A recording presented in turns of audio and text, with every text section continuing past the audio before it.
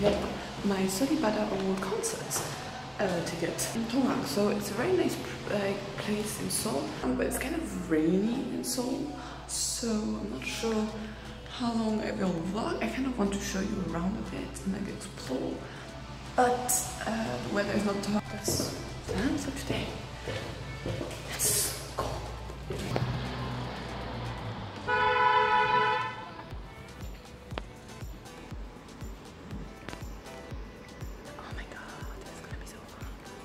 I'm so excited. Come wait, I'm just gonna put safely this in my bag because it's raining. Um, I'm not gonna be showing you around the area because it's just raining too much and I'm just so tired. So I'm just gonna go home, and make myself some food.